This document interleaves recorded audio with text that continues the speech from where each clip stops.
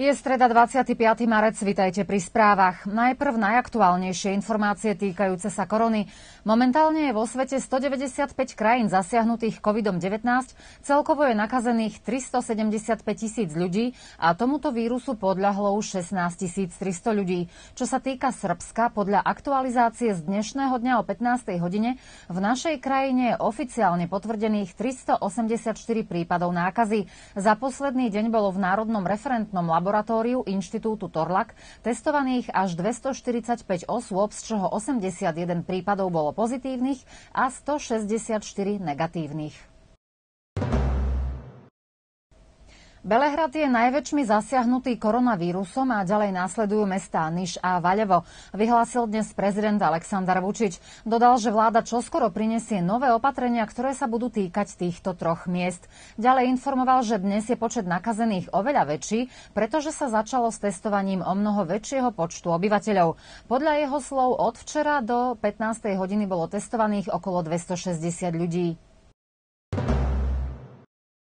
Minister obrany Aleksandar Volin navštívil dnes záchytné stredisko Letenka vo Fruškej hore, ktoré je určené na ubytovanie našich občanov, ktorí sa vrátili zo zahraničia a musia tu stráviť čas určený na izoláciu. Stredisko Letenka má kapacitu 224 miest. Vojsko Srbska tu zabezpečuje kontrolu vstupu a odchodu, zdravotníckú starostlivosť, ubytovanie a stravu. Rúška, teda ochranné masky na tvár sa začali od dnešného rána distribuovať do lekárni po celom Srbsku.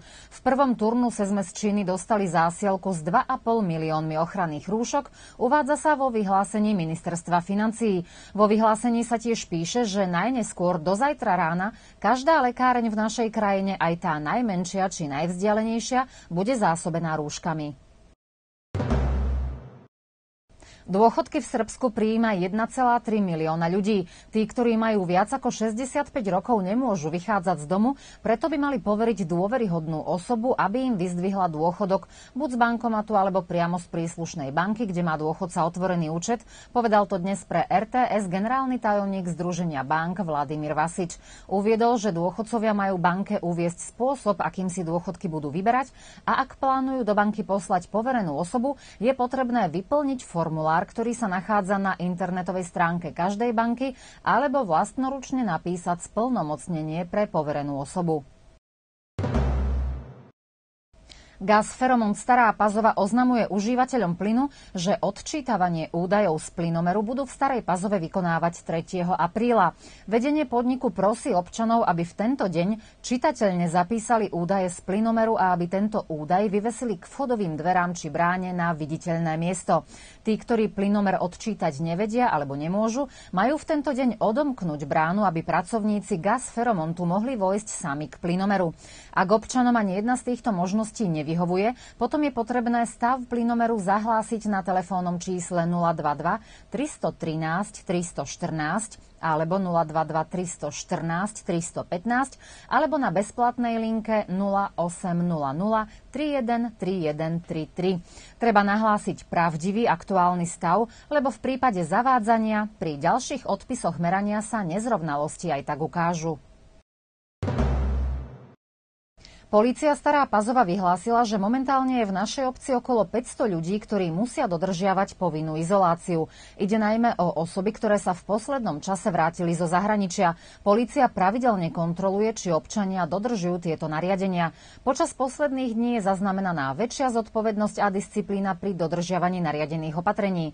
Z lokálneho štábu pre mimoriadne situácie sa dozvedáme, že denne sa na telefonické číslo 311 999 obráti priemer primerne 200 občanov s rôznymi otázkami a nejasnosťami. Dobrovoľníci vychádzajú do terénu asi 40 krát denne. Zo štábu oznamujú, že dobrovoľníci sú u nich riadne zaregistrovaní a v prípade potreby, ak dôchodcovia nemajú inú možnosť, môžu dať dobrovoľníkom aj splnomocnenie na vyzdvihnutie dôchodkov z banky.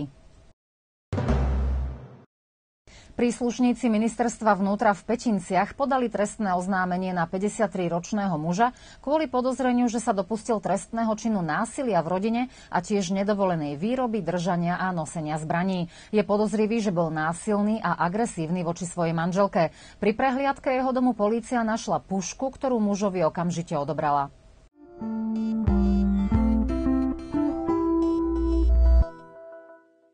Štvrtok bude polooblačný s prevahou oblačných intervalov a oteplí sa. Hodnoty na teplomery sa od nuly posunú najvyššie k desiatke. Silnejší vietor po celý deň zafúka z východu.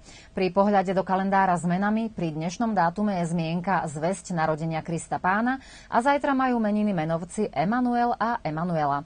Na dnes je to z nášho obsahu všetko. S novým spravodajstvom sa prihlásime aj zajtra. Dovtedy sa majte pekne.